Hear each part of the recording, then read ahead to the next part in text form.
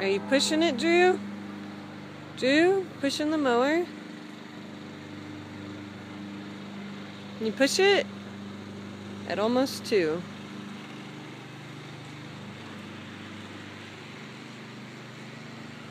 You're nothing if not determined, kid.